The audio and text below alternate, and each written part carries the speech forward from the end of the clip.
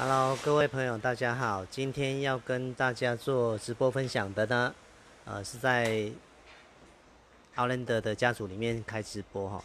那当然呢，车转车款的话是奥兰德，那这一台是零八年的二点四，然后是四轮驱动的版本。今天装的呢是 KT 的道路版避震器，还有后面的仰角调整器。因为车高降低的幅度比较多哈，预预计的话后面大概只有剩下两指幅哦哈，所以后面的话呢也会加装仰角调整器。那车主的话其实加装了不少的东西，像是细胶的水管呐哈，或者是呃这个算是废油回收，还有进气管路，还有接地线、音响。改了很多很多的东西，那今天要提升的就是底盘的部分。那其实本来呢，车主已经改了很棒的避震器，本来的版本呢是 KYB 的，呃，这是蓝铜的，哦，大概使用了大概十万公里。那这个呢，这一只呢是原厂拆下来的后面的羊角，因为后面的羊角不能调整嘛，所以我们把它改成可调式的，好，比较不会失胎。因为车高降低的幅度比较多之后呢，后轮的 camber 角度呢会变得比较趴，所以就有可能会吃轮胎的内侧。那这个是后面的避震器，这个呢是前面的避震器。那改 KT 有一个好处就是，它不论前面或者是后面的上座呢，我们 KT 都有附上座，不用再拆原厂的零件来沿用。这个是二零一六年当时装的哦，也装大概哎三年哈，不到三年。那因为车主用车的频率比较高啊哈。那这个算是 KYB 的蓝桶配上呃杨敏 TS 的短弹簧的设配的那个配置。啊，车主反映说有阻尼有有裂化啦，有衰退的状况，所以选择呢把它改成我们 KT 套装的。那前面的话，这一台二点四的引擎哈，我如果车主呢没有特别的指定的话，我们前面跟后面的弹簧公斤数呢，配置的话是七公斤，前面也是七公斤，后面的话呢也是七公斤。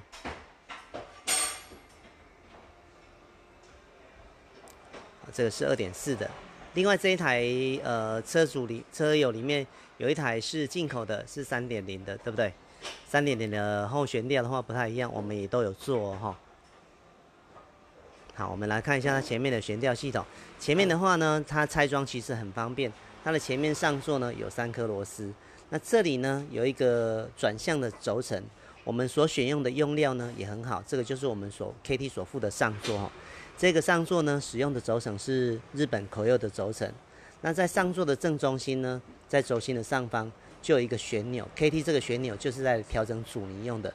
像这样顺时针往 H 的方向哈，它就会变硬；逆时针它就会变软。一共有三十段的阻尼呢，可以让车友们来做调整。好，所以这个轴承呢也是日本口柚的轴承，用的用料也都很棒。这个是 SPR 的拉杆。好，那前面的车高呢？等一下预计哈降低大概剩下两指幅，降低的幅度也不少哦哈。前面是七公斤，那我们所选用的用料，像里面的阻尼油呢，我们用的是意大利一整桶 IP 进口的阻尼油，并不是呃国外的油品授权来台湾再做混装的油品，它是一整桶从意大利进口，所以它的稳定度啦、呃消泡性之类的种种表现哦，相当的棒。业内其实很多的同业呢，也都有使用这样的油品。啊，油封的部分，啊，关攸关寿命最重要的油封呢，就是使用日本最知名的 NOK 的油封。那这个 Outlander 的这里的局部设计呢，其实跟呃三菱的 Fortis 其实都是大同小异哈。它有一个离载串固定点，然后有 ABS 感应线的固定吊架，还有刹车油管。啊，这个都是符合安全规定。那车高的调整呢？呃，切记哈，并不是靠压缩弹簧来改变车高，这个不是低阶的产品，这个是靠脚管筒身的长短呢来改变车高。如果要高一点的话呢，我们把这个托盘把它旋松，然后这个筒身往上旋转，它的整体长度变长，车高就会变高。那相反的，我的蓝色的脚管呢往上缩短，它的长度变短之后呢，车高就会变低哈。所以这个它能调整车高的范围呢相当的广泛，而且它调高调低呢这个区间呢都是没有异动的，所以它的调高调低的乘坐感觉呢是都差不多的。那拜托技师呢？等一下呢，我们镜头移到另外一边哈，就有看到，呃，有技师呢，他把弹簧预载过多，造成不好做的状况，所以前面这里呢，呃，这些弹簧的预载呢，KT 在出厂的时候都已经设定好了，所以千万不要移动它哈。Hello，志成你好，志成好，好像这台 Camry 呢，就是我们呃在我们的经销商安装。那它的弹簧预载过多呢，造成不好做的状状况，所以我们现在在帮车主呢，呃，在做微调的动作。所以像这样的状况呢，弹簧呢，千万呢不要预载过多哈，一定会不好做。志成，谢谢你诶，推荐我们家的产品。那后面的话呢，呃，预计降低大概剩下两指幅嘛哈，所以我们也车主的话呢，也一并把后面的仰角调整器把它装上了。那这台车呢？后它算是一个多连杆的结构，所以如果车高降低之后，后轮呢它会 camber 的角度会变趴，会比较容易出轮胎的内侧。所以如果有装仰角调整器的话呢，它就能够把后轮的 camber 角度把它校正到比较正常的位置，就比较不容易吃胎。那今天后轮的车高呢，也预计大概降低剩下大概到两指幅左右，好。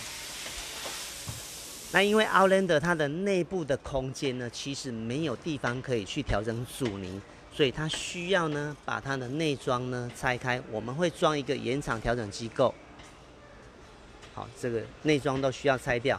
那这个延长调整机构呢，从这个地方呢就能够做阻尼的调整，不需要呢再把避震器卸下来呢再做软硬的调整。所以 KT 在呃 Outlander 的专用的车款上面呢，我们都有做一个贴心的设计。那当然啦，在安装的时候呢，就会比较耗时一点点，因为呢需要把这些的内装拆掉，然后需要这里钻一个小孔，让这个延伸的调整杆延伸出来之后，它才有办法呢从这个地方来做调整。好，所以施工上的话呢会稍微久一点点，可是车主在使用的时候呢就方便许多。这个是奥兰德零八年款，那基本上呃比较新款的哈，它的奥兰德的悬吊系统也都差不多。现在右边的话已经在做内装的复原了，它右边哈上方的话有一个室盖，所以它的延长调整机构呢，这个就是我们右后方的延长调整机构是可以藏在藏在这个里面的哈，所以是看不到的。这台车我们也算是很车友，真的很谢谢奥兰德的车友，很捧场，还有小朱啦哈，志成都帮我们推荐。那所以我们安装这台车的速度呢，其实算是还蛮快的，因为师傅安装的数量也还蛮多的。好，这个就是原厂拆下来的后面的仰角，好，这个是不能调整的，所以呢，需要改成可调式的呢，它才有办法做后轮。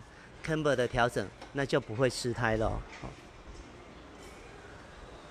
嗯，